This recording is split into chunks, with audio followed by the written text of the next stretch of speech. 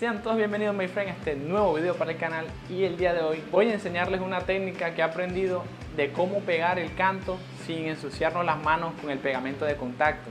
Y quiero enseñarte un truco, una herramienta que yo he fabricado y ahorramos un poco de dinero y que quiero compartir contigo para que tú también aprendas a cómo realizarla. Entonces, comencemos con el video. Listo, entonces vamos a fabricar nuestro aplicador de pegamento de contacto y lo vamos a hacer de una manera muy sencilla.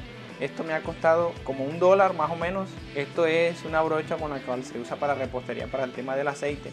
Y esta es la que vamos a necesitar. Vamos a cortar de cierta manera eh, más o menos un largo de mi dedo.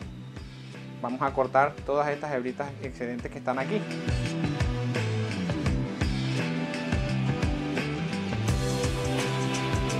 Ya, listo. Eso sería todo. Una vez que tengamos eso, ya hemos realizado nuestro eh, nuestro aplicador de pegamento de contacto. Vamos a aplicarlo entonces, vamos a iniciar la aplicación eh, en esta pieza.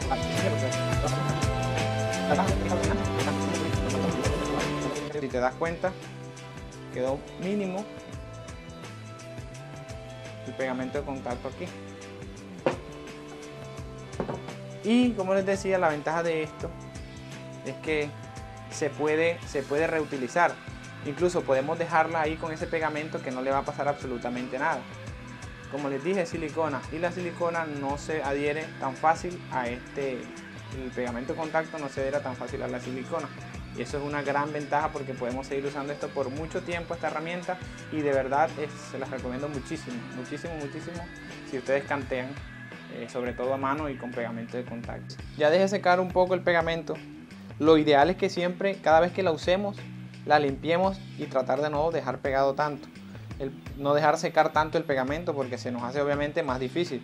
Entonces miren lo fácil que sale, esto sale supremamente fácil, Supremamente fácil y por lo general siempre sale completo, mira, ahí salió completico y no se pega y no le he aplicado nada, no, le he aplicado ningún tipo de, de, disolvente, nada.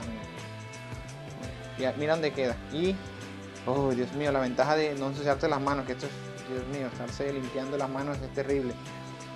así podemos otra vez aplicar. En el caso tal de que pues dejemos secar o se haya secado mucho, podemos aplicar en esta parte un poquito de, disolvente. Puede ser Barsol, puede ser Thinner. Yo uso Thinner.